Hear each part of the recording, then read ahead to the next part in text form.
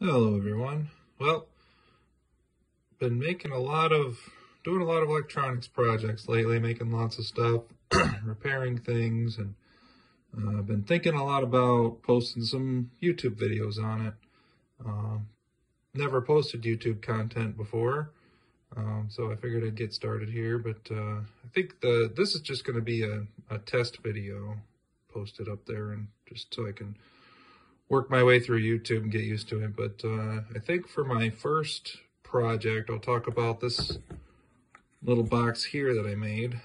Got a DB9 RS232 port, a VGA output, there's USB power, and we got keyboard and mouse input. Um, basically, you can turn any VGA monitor into uh, serial terminal with uh, PS2 keyboard input.